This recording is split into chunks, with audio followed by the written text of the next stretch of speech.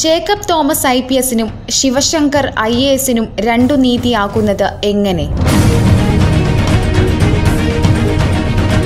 രാഷ്ട്രീയ വിവാദമുയർത്തുന്ന സ്പ്രിൻക്ലർ കരാറുമായി ബന്ധപ്പെട്ട് ഉയരുന്ന ഏറ്റവും പ്രധാന ചോദ്യം അത് വ്യക്തിപരമായ സ്വകാര്യതയ്ക്ക് ഭംഗം വരുത്തുന്നതാണോ എന്നതാണ്.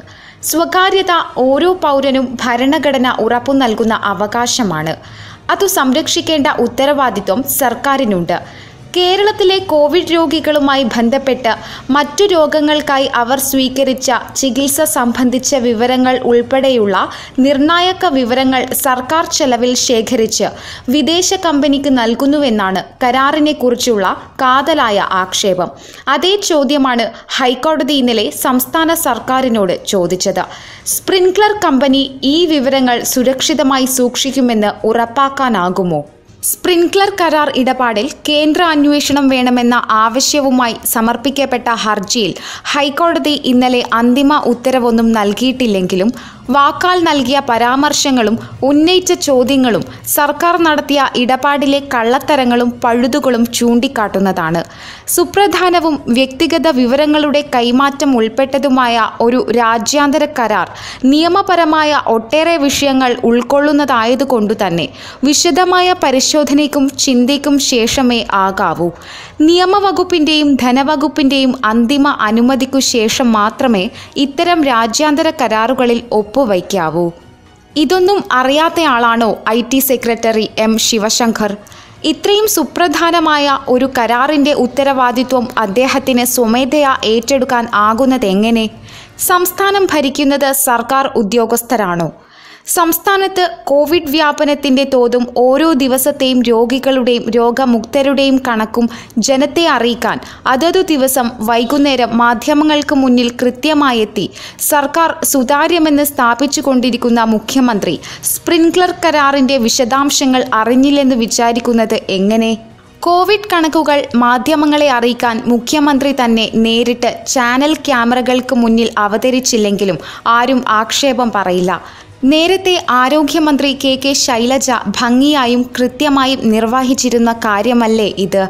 അതുവഴി ശൈലജ ടീച്ചറുടെ പൊളിറ്റിക്കൽ റേറ്റിംഗ് എങ്ങാനും ഉയർന്ന് മുഖ്യമന്ത്രിയുടെ റേറ്റിംഗിനും മീതെ പോയാലോ എന്ന കുശുമ്പു കാരണമല്ലേ? വകുപ്പ് മന്ത്രിയെ വെട്ടി മുഖ്യമന്ത്രി നേരിട്ടു തന്നെ കണക്കുകളുടെ പ്രതിദിന അവതരണ ചുമതല ഏറ്റെടുത്തത്? ഒരു പത്രക്കുറിപ്പ് കൊണ്ടോ ആരോഗ്യവകുപ്പ് ഉദ്യോഗസ്ഥനെ കൊണ്ടോ നടത്തിക്കാവുന്ന കാര്യമേയുള്ളൂ അത്.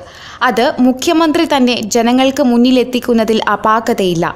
പക്ഷേ ആ ശുഷ്കാന്തിയും ജാഗ്രതയും ഉത്തരവാദിത്വ ബോധവും നിർണായകമായ ഒരു രാജ്യാന്തര കരാറിന്റെ കാര്യത്തിൽ ഇല്ലാതെ പോയതെന്ത്?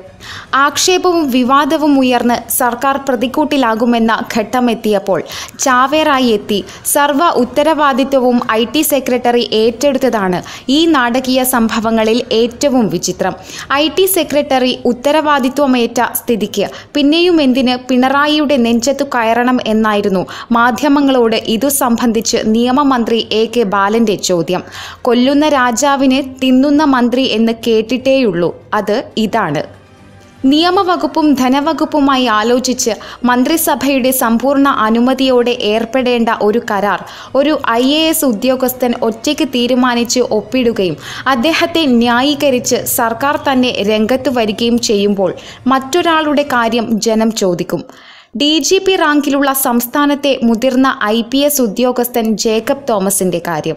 അദ്ദേഹം ചെയ്ത മഹാപാതകം സർക്കാരിന്റെ അനുമതിയില്ലാതെ ഒരു പുസ്തകം എഴുതി എന്നതാണ്. സിവിൽ സർവീസ് ഉദ്യോഗസ്ഥരുടെ പെരുമാറ്റച്ചട്ടം ജേക്കബ് തോമസ് ലംഘിച്ചെന്നും അത് ഗുരുതരമായ അച്ചടക്ക ലംഘനമാണെന്നും ആ വിഷയം അന്വേഷിക്കാൻ സർക്കാർ നിയോഗിച്ച സമിതി കണ്ടെത്തി നടപടിക്ക് ശുപാർശ ചെയ്യുകയും ചെയ്തു.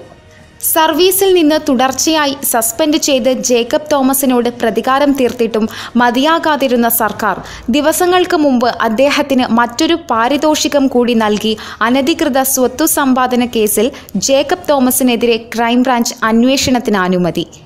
നേരത്തെ ചുമതല വഹിച്ചിരുന്ന ചില വകുപ്പുകളിൽ നടത്തിയ പ്രവൃത്തികളുമായി ബന്ധപ്പെട്ട് ജേക്കബ് തോമസിനെതിരെ അന്വേഷണം നടക്കുന്നുണ്ട്. അതൊന്നും പോരാഞ്ഞാണ് പുതിയ കേസ്. ജേക്കബ് തോമസ് റിട്ടയർ ചെയ്യാനാകട്ടെ ഇനി ഒന്നര മാസം പോലും ബാക്കിയില്ല. ജേക്കബ് തോമസിനും എം ശിവശങ്കറിനും സർക്കാർ നൽകുന്നത് രണ്ടു നീതിയല്ലേ? ഐ എ എസിനും ഐ പി എസിനും പ്രോട്ടോകോൾ രണ്ടു വിധത്തിലാകുന്നത് എങ്ങനെ?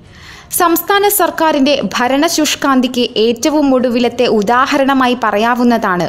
സംസ്ഥാനം മുഴുവൻ വൈറസ് ഭീതിയിൽ വിറങ്ങലിച്ചും ലോക്ക്ഡൌണിൽ ശ്വാസം മുട്ടിയും തുടരുമ്പോൾ ധൃതി പിടിച്ച് ആറ് ബാറുകൾക്ക് ലൈസൻസ് നൽകിയ തീരുമാനം. കോവിഡ് വ്യാപനം ഏറ്റവും രൂക്ഷവും. സർക്കാർ തന്നെ അതീവ ജാഗ്രത പുലർത്തി കടുത്ത നിയന്ത്രണങ്ങൾ പ്രഖ്യാപിക്കുകയും ചെയ്ത വടക്കൻ മേഖലയിലാണ് ഈ ബാറുകളെല്ലാം എന്നതാണ് ഏറ്റവും വിചിത്രം. ഇന്നലെ മാത്രം പത്തു പേർക്ക് കോവിഡ് രോഗം സ്ഥിരീകരിച്ച കണ്ണൂരിലുമുണ്ട് പുതിയ ബാറിന് അനുമതി. സർക്കാരിന്റെ മുൻഗണനകൾ ഏതു വഴിക്കാണെന്നു വ്യക്തമാക്കുന്നതാണ് താടിക്കു തീപിടിക്കുമ്പോൾ ബീഡി കൊളുത്തുന്ന ഈ നാണം കെട്ട ഏർപ്പാട്. News desk I to I news.